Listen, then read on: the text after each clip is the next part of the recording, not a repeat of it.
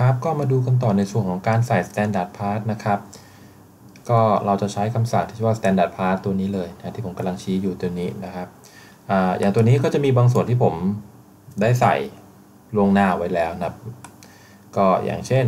นะฮะ socket bolt พวกนี้นะครับวิธีการใส่เนี่ยอย่างแรกเราต้องเลือกแคตตาล็อกก่อนนะครับคือกดคำสั่งขึ้นมาเนี่ยให้เรากดด้านซ้ายมือนะครับเป็นแคตตาล็อกเช่นผมจะเอามิซูมินะครับ ก็เป็นยี่ห้อที่รู้จักกันอยู่แล้วนะครับไกด์โพสนะครับ ซึ่งเราสามารถเปิดพรีวิวตรงนี้ให้เป็นรูปภาพนะครับเราก็จะได้เห็นภาพได้ว่าชนิดของไกด์โพสที่เราจะเอามานั้นเป็นยังไงนะครับ เป็นแท่งนะครับหรือเป็นแบบตัวที่เป็นไกด์เป็นเซตแบบนี้ก็จะมีให้เลือกนะครับมีเลือกใครใช้จอขนาดใหญ่ก็ปรับพรีวิวให้ตัวใหญ่นิดนึงก็จะเป็นแบบนี้เห็นไหมครับเราก็กดกดตัวนี้นะครับ ตัว คำสั่งเขาก็จะ preview ขนาดนะครับ ค่า L นะครับก็จะแปรผันตามความสูงของแผ่นเพจนะครับความสูงรวมของแผ่นเพจอยู่แล้วค่า L ฉะนั้นเราก็กำหนดแค่ diameter ตรงนี้แค่นั้นเองได้ diameter เท่าไหร่นะครับ แล้วก็เลือก type ผมอยากได้ 8 ตัวนะเป็นเซตที่มี 8 ตัวนะครับฉะนั้นมันก็จะมีระยะนะครับ x 5 x 6 x 7 x 8พวกนี้นะที่เราต้องใส่เข้าไปนะครับ ก็จะมีค่า x กับ y นะ เพราะว่า x ต่างๆ นั้นเขาได้ทำการใส่สูตรหรือว่าหารเอาไว้เรียบร้อยแล้วนะครับ เช่นอันนี้ผมบอกว่า หาร 3 นะครับ เพื่อให้ระยะมันลงตัวนิดนึงนะครับ ผมบอกไม่ต้องเอาให้มันเล็กมากนะครับ อะ ลองโอเคดูก่อนนะครับ ข้อดีของการใช้คำสั่งนี้นะครับใน NX รุ่นใหม่ๆมันหาตำแหน่งเองนะครับ คือมันจะรู้จักเองว่า อ๋อ ตัวไกด์ตัวนี้นะ จะต้องไปอยู่บนแผ่นเพจแผ่นไหนนะครับ แล้วก็ไปวางให้เลยแบบนี้นะครับ ถ้าเป็นเซตก็จะวางให้เลยนะครับให้เลยแบบนี้ก็จะสะดวกรวดเร็วนะครับตัวอื่นๆก็ทำลักษณะเดียวกันนะครับ แต่ว่าตำแหน่งในการวางนั้นก็ขึ้นอยู่กับว่าตอน ที่เราเลือกเมื่อสักครู่นี้นะครับเทคนิคง่ายๆเลย position นะครับบางชนิดนะครับของ standard part เขาจะเลือกเป็นตัวนูให้แล้วนะครับ ตัวนูก็อัตโนมัตินะครับเซตไปให้แล้วตำแหน่งก็ต้องอยู่ตรงนี้ตรงนี้ตรงนี้นะครับโปรแกรมจะเซตให้เลยนะครับหรือถ้าเป็นกรณีที่เราจะกำหนดเองนะครับก็เป็น plane นะครับหรือเป็น point ก็ได้นะครับ plane ก็คือระบุผิวที่เราจะวางนะครับ บอกเป็นระยะ x y เอาเอง นะครับ หรือเป็น point ก็กำหนด point เลยนะครับหรือเป็น WCS ก็คือเอา W ต้องเอา WCS ไปตั้งไว้ก่อนถึงจะไปวางตรงจุด WCS นะครับเป็นจุด center นั่นเอง ฉะนั้นก็เลือกใช้นะครับเลือกใช้ position ให้เหมาะสมนะครับสำหรับไกด์พวกนี้ก็ใช้เป็นนัวตัวนี้แค่นั้นเองนะครับ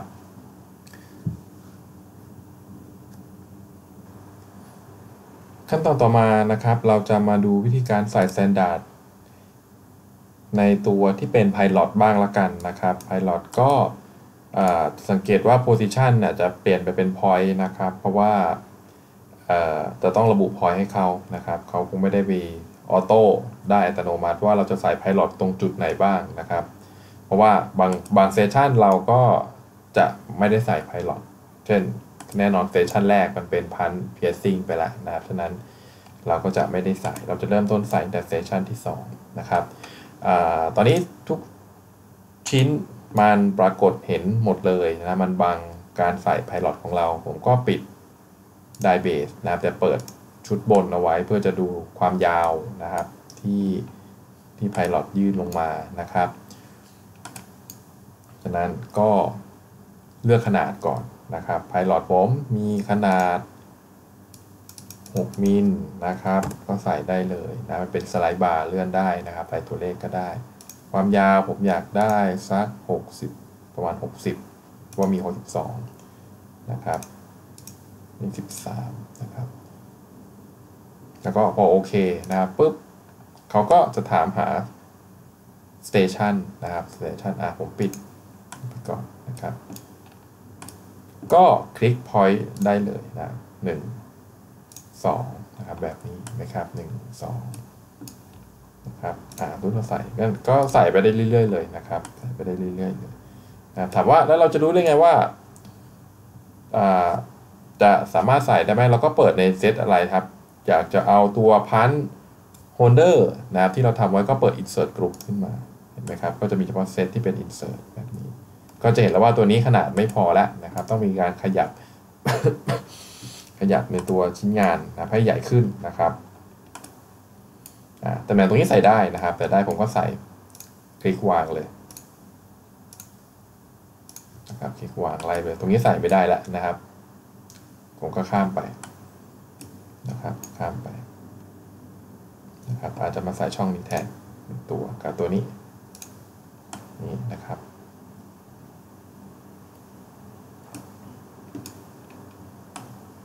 ใส่ตรงนี้แทน เพราะว่าตรงนี้ไม่ได้มีตัวพันนะครับ ใส่แทนนะสองอันตรงนี้ข้ามไปนะครับ จริงๆแต่ว่าจะใส่ด้วยก็ได้นะครับ เพราะว่าคิดว่าน่าจะใส่ใส่ได้แต่ตัวนี้จะเห็นว่ายังไม่ได้ใส่ในตัวของซ็อกเก็ตที่เป็นน็อตนะก็เดี๋ยวอาจจะพื้นที่ไม่พอก็เลยไม่ใส่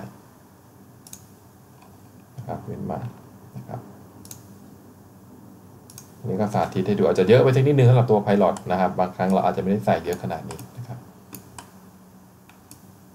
เดี๋ยวตัวนี้เดี๋ยวค่อยมาแก้นะครับ เดี๋ยวค่อยแก้เฉพาะขนาดให้ใหญ่ขึ้นนะแต่ละกด cancel นะครับเนี่ยก็จะได้ไพลอต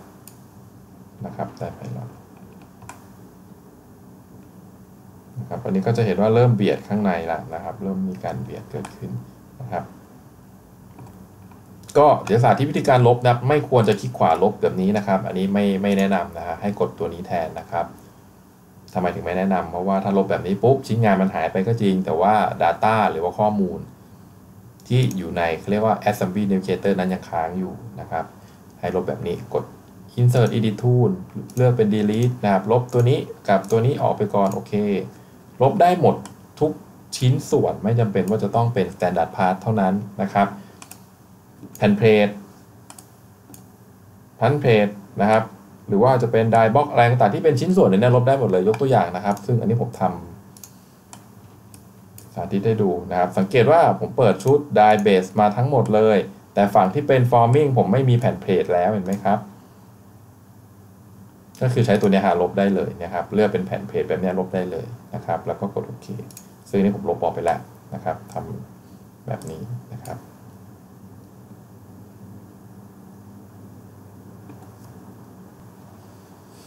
ขั้นตอนต่อมานะครับ เราจะข้ามไปในส่วนของการทำโมชั่นเลยละกันนะครับ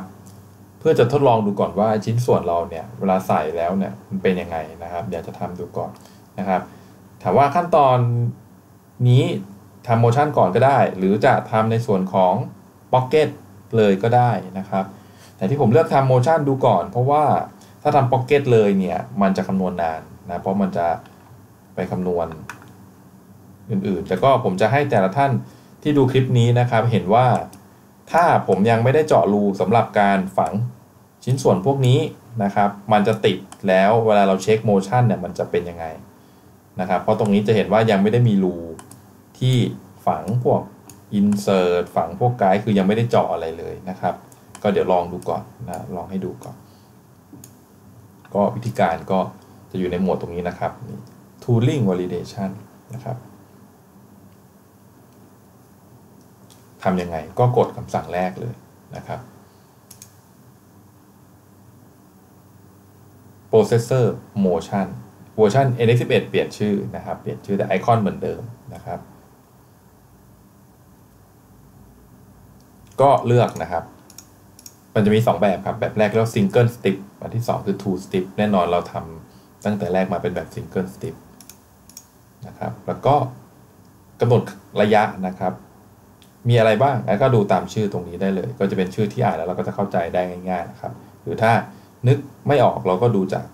ตัวย่อนะครับ machine stroke นะครับ ค่า d ก็คือค่า a บวก b บวก c นี่ a นะครับ ก็คือระยะนะครับ แผ่นเฟสที่ดีดออกนะครับ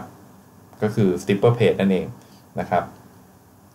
c ก็คืออ่อ stip ลอยขึ้นเท่าไหร่นะครับ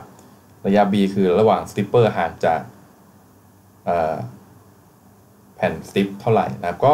อันนี้ก็กำหนดคร่าวๆก่อนนะครับกำหนดคร่าวๆก่อน ซึ่งผมก็ใช้ค่านี้ก่อนเลยละกันนะครับ แล้วก็กด apply นะครับนะเสร็จแล้วก็กดโอเคนะครับ กดโอเคนะครับ ทีนี้ก็เมื่อเราโอเคไปแล้วนะครับ ลองดูว่ากดมาใหม่แล้วนะครับ ตรงนี้กดติดหรือเปล่านะครับ ถ้าถ้าเรายังไม่ได้ใส่ stroke พวกนี้นะไอตัวที่ 2 เนี่ยฮะนะครับ ตัว mount component มันจะไม่ขึ้นนะครับ ซึ่งเราต้องหมดค่าเมื่อกี้เราโอเคไปก่อนนะครับแล้วกดขึ้นมาอีกทีหนึ่งนะครับ หรือว่ากด apply ก็ได้นะครับต่อมานะครับ mount component คืออะไรคือมันเป็นคำสั่งในการนับจำนวนแบ่งแบ่งจำนวนนะครับ เช่นฝั่ง top นะครับ อันนี้สำคัญอ่าอันนี้ แต่ละท่านที่ดูคลิปนี้ก็จะต้องกำหนดเองนะครับ เพราะบางครั้งมันเลือกได้ไม่หมดนะครับ เนื่องจากว่า standard บางชิ้นนะครับ มันไม่รู้จักก็มีนะครับแต่อันนี้ก็น่าจะรู้จักหมดเห็นไหมครับ top คือฝั่งบนอันไหนอยู่ฝั่งบนบ้างนะครับไม่ไม่รวม stripper นะไม่รวม stripper plate นะครับชิ้นส่วนทั้งหมดที่เป็นพวกไกด์นะครับ เป็นบูธนะครับ เป็นพินต่างๆ เราสังเกตดูเห็นไหมครับ อยู่ข้างบนหมดไหม ถ้าดูยากลองปิดดู นะครับแบบนี้นะครับ อันนี้ก็น่าจะอยู่หมดนะครับนะฮะชิ้นส่วนเห็นไหมครับ ที่อยู่ด้านบนนะครับนี่ไหมครับอันนี้ก็จะมีซ็อกเก็ตบางเซตที่อาจจะยังไม่ได้เลือกเข้าไปไหมครับ แบบนี้นี้ยกตัวอย่างให้ดูเห็นไหมฮะก็คือเราต้องมาคลิกเลือกตัวเลขเขาก็จะเพิ่มขึ้นนะครับนี่ครับลองแอปพลายดูนะครับ เป็น212เห็นไหมครับ เมื่อกี้204เห็นไหมครับ แบบนี้นะครับเป็น204นะฉะนั้นเราก็คลิกเลือกให้หมดนะครับ นะครับ คลิกเลือก ส่วนใหญ่ก็จะมีปัญหาที่ซ็อกเก็ตพวกนี้ เพราะว่าซ็อกเก็ตพวกนี้บางครั้งนะครับโพซิชันเขาไม่ได้ไปเกาะอยู่กับแผ่นเพจนะครับ อาจจะขึ้นอยู่กับตอนที่เราใส่ด้วยนะครับ แบบนี้ อันนี้คือยกตัวอย่างให้เห็นจริง ๆ ก็น่าจะรู้จักหมดแหละ แต่ว่าอันนี้ผมไปเซตให้มันเห็นเพื่อให้แต่ละท่านเห็นว่าอ๋อถ้ามันผิดมันจะเป็นยังไงเนี่ยครับอย่างเงี้ยเห็นไหมครับ ก็เลือกให้ครบอะก็ apply ไปนะครับ apply ไป ต่อมาครับ bottom ครับก็คือฝั่งล่างเห็นไหมครับ ฝั่งล่างทั้งหมดเลย อันนี้ก็น่าจะเลือกให้ครบหมดแล้วแหละมีฝั่งล่างมี bush อยู่ฝั่งล่างมี pin ต่างๆนะครับอ่า lifter lifter คืออะไรนะครับ lifter ตัวนี้ผมไม่ได้ใส่นะครับ เดี๋ยวเดี๋ยวกลับไปใส่ไม่เป็นไรเพราะมันขึ้นเลขศูนย์เห็นไหมครับ lifter คือตัวยก strip นะครับ ก็เดี๋ยวจะใส่ตำแหน่งเดียวกับ pilot นี่เราจะอยู่ด้านใต้นะครับ stripper นะครับ stripper ก็ตัวแผ่น strip ของเราพร้อมกับ stripper plate นะครับ feeder นะครับ feeder คือตัวที่เคลื่อน อันนี้รวมถึงตัวที่ เป็นตัว feed ภายนอกด้วยนะครับ หมายถึงว่าเรามีตัวตัวฟีดดึงม้วนสติปมานะครับ ก็ก็อยู่ในเซตนี้เหมือนกันนะครับอ่าเสร็จแล้วทำไงครับแอปพลายนะครับแอปพลายไปแค่นั้นเอง เสร็จแล้วนะครับ ก็กดโอเคนะครับ แล้วก็มาทดลองรันด้วยตัวนี้ครับรันนะครับปุ๊บปุ๊บปุ๊บปุ๊บมาแล้วนะครับ มาแล้ว เราก็กด play ดูสิ ก็จะเป็นหน้าตาแบบนี้ปึ้งนะครับ อันนี้อาจจะยกสูงไปไหมเราก็ลองดูนะครับ อันนี้จะเห็นว่าก็คือนะ stop ก่อนนะครับซ็อกเก็ตชุดข้างล่างไม่ได้โดนเลือกก็จะเป็นแบบนี้ครับ มันนี่ว่ามันอยู่ข้างบนเห็นไหมครับ strip เลื่อนมาเสร็จปั๊มไหมครับ ปึ้งอันนี้งอลงนะครับ ก็ขึ้นอยู่กับการ์ดจอเราด้วยนะครับ ว่ามัน กระตุกขนาดไหนนะ display นะครับพวกนี้นะฮะเนี่ยครับ step แรก piercing ดูนะครับตรงนี้ piercing ไหมฮะเสร็จแล้วเลื่อนมาครับรูตรงนี้ก็ถูก piercing นะครับพอที่ piercing ก็จะกลายเป็นนะครับตำแหน่งของ pilot ก็อันนี้ก็สาธิตวิธีการทำ motion นะครับของ progressive ได้นะครับ ทีนี้กลับมาถึงขั้นตอนที่เราจะเช็คครับก่อนที่ผมได้กล่าวไว้ ทุกตัวมันยังไม่ได้มีช่องว่างนะครับ หรือเรียกว่า pocket นะครับ เวลาเช็คมันจะตรวจเจอไหมนะตรวจเจอยังไงก็คือตัวนี้นะครับเขาเรียก interference check นะครับ ก็จริงๆ มันเป็นตัวเช็คที่เราอยากจะดูว่าตัวไหนติดกับอะไรบ้างนะครับ ผมบอกว่าเอาแผ่นพันเพจนะครับ เช็คกับ ตัวนี้นะครับ แบบนี้นะครับ ก็จะเกิด interference check ขึ้นมาเนี่ยครับนะครับ อันนี้วิธีแรกนะครับ วิธีแรก วิธีที่2นะครับ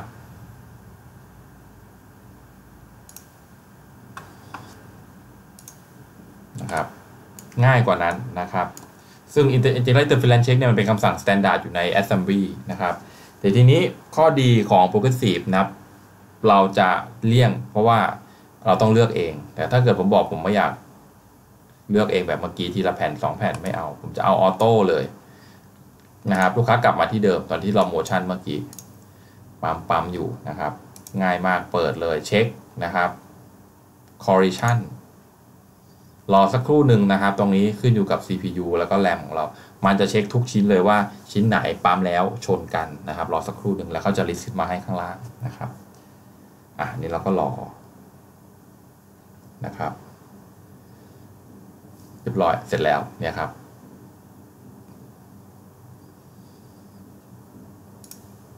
อะผมดูแค่ชุดบนแล้วกันนะครับ ชุดบนเนะครับ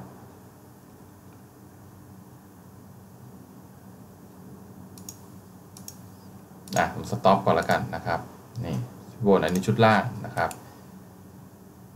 คลิกขวานะครับ คลิกขวาเนี่ยมันอันนี้มันแยกเป็นตัวหลักๆก่อนนะครับ ก็คือมี analyze ก็คือไปไปเช็คดูเลยว่าตรงไหนติดบ้าง ignore ก็คือยอมรับไปนะครับอ๋อมันไม่ได้ชนหรอกเราตั้งใจให้เป็นแบบนี้นะครับ ก็ analyze นะครับ analyze ก็ก็จะแยกขึ้นมานะครับ แยกขึ้นมาแล้วเราก็กด preview ดูเนี่ยฮะคือทุกชิ้นเลยครับ อันนี้คือทดลองให้เห็นว่าไม่ว่าจะเป็นพันนะครับ ทุกตัวเลยนะ ก็คือ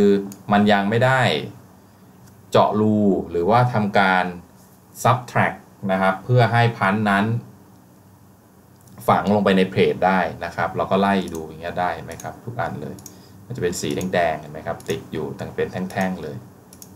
นะครับแค่นี้ก็จะสามารถเช็คได้นะครับ เช็คได้นะครับ กลับมาที่เดิมดูตัวล่างบ้างนะครับ ลิกขวานะเลือก analyze เข้าไปนะครับ กด preview นะครับ ก็จะมีอันนี้นะครับ อันนี้ก็คือ เป็นพันนะครับ น่าจะติดที่พันได้นะครับนี่นี่ฮะอันนี้ก็จะเศษนิดนึงที่ติด interference นะครับแบบนี้นะครับอ่า ก็สามารถเช็คได้ อันนี้ก็คือวิธีการนะครับเนี่ยฮะระหว่างที่เรากำลังดูเนี่ยครับเราสามารถติ๊กตรงนี้ไฮไลท์นะครับไฮไลท์ตรงไหนที่มันเริ่มชนนะครับเห็นไหมฮะติ๊กมันจะไฮไลท์หมดเลยนะครับเนี่ยฮะที่มันไฮไลท์หมดเพราะว่าเรายังไม่ได้ฝังนะครับ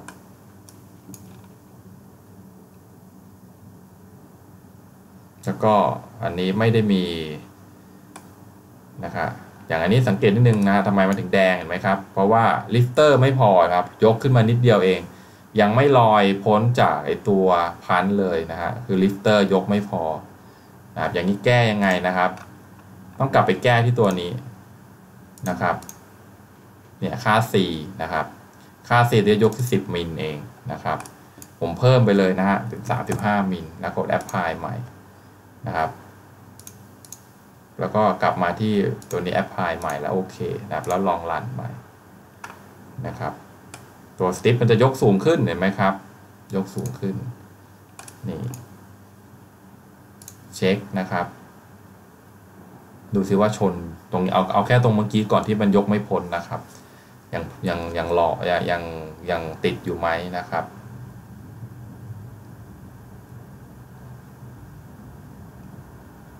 อ่านะ ก็ไม่ติดแล้ว แต่ติดตรงนี้แทนเห็นไหมครับนี่นะครับสโตกยังไม่สุดเลย แต่ตัวนี้ลงมาแล้วก็แสดงว่าอาจจะต้องไปยกในส่วนของตัวนี้สูงขึ้นนะครับนี่ฮะอันนี้ยังเลื่อนมาไม่สุดเลยตัวนี้ลงมาติดแล้วนะครับนี่ก็ทำให้ผู้ใช้งานนะครับสามารถปรับตั้งค่านะครับ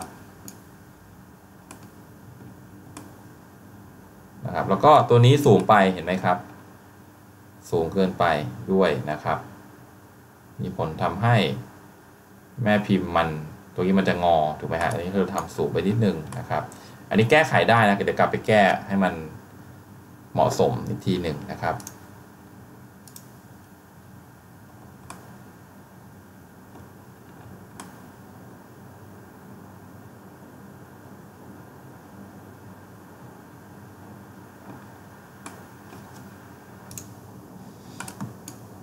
ต่อมามาดูวิธีการทำพ็อกเก็ตนะครับ เมื่อสักครู่นี้เราเห็นแล้วว่าหลายๆ ชิ้นนะครับ ติดอยู่กับแผ่นเพลทที่ยังไม่ได้ขุดหลุมนะครับ วิธีการขุดหลุมก็ง่ายๆครับเรียกพ็อกเก็ตนะครับ วิธีการก็คือไล่ทีละแผ่นเพจครับ วิธีการไม่ยากครับ แล้วกดตัวนี้ฮะเลือกแผ่นเพจเสร็จปุ๊บกดไฟล์ intersect มันจะไปเสิร์ชหาเองว่าตรงไหนที่มีเนื้อตัดกันแล้วยังไม่ได้ subtract หรือ pocket นั่นเอง สร็จแล้วกดโอเคครับ อันนี้รอสักครู่หนึ่งนะฮะ เดี๋ยวเราก็จะได้แผ่นเพจนะครับที่มีรูนะครับไม่ว่าจะเป็นรูของ socket bowl นะครับรูของ dual pin นะครับรูใช้ในการฝังบูทเข้าไปนะครับทุกอย่าง เขาก็จะทำการพ็อกเก็ตหรือว่าเจาะช่องให้หมดเลยนะครับ ก็จะก็จะใช้เวลาสักพักหนึ่งต่อต่อหนึ่งแผ่น นั่นเป็นสาเหตุว่าทำไมผมถึงยังไม่ทำ pocket แบบนี้ในครั้งแรกนะครับ ลองคลิกขวาที่แผ่นเพจที่ทำนะครับ make display part ไปดูนะครับไหมครับ แผ่นบนก็จะมีรูน็อตเยอะนิดหนึ่งนะครับทั้งร้อยขึ้นด้านบนด้านล่างนะครับแบบนี้เห็นไหมครับ pocket ผ่านหรือไม่ผ่านดูตรงนี้นะครับ มีสีแดงเกิดขึ้นหรือเปล่านะครับ ถ้ามีสีแดงเกิดขึ้น อาจจะต้องไปแต่งด้วยคำสั่ง subtract บ้างบางจุดนะครับ บางจุดคือการทำแมนนวลบางจุด แต่ถ้าแบบนี้ผ่านหมดก็ถือว่าโอเค ฉะนั้นเราก็กลับไปทำแผ่นอื่นนะครับ ก็อาจจะสาธิตไม่ได้ครบทุกแผ่นนะครับ ไม่ได้ครบทุกแผ่นก็ท่านผู้ชมที่ชมคลิปนี้ก็ทำไปเรื่อยๆ แผ่นไหนทำแล้วก็ทำการซ่อนนะครับ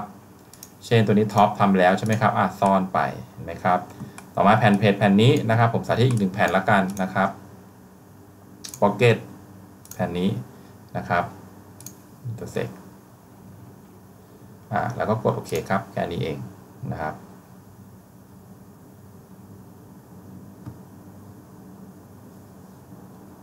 อ่าเรียบร้อยนะครับ ก็ไม่มีสีแดงเกิดขึ้นเห็นไหมครับขวาดูอีกทีหนึ่ง make display path ไปดูซิเนี่ยครับก็จะได้ช่องขึ้นมาแล้วนะครับ เรียบร้อยนะครับ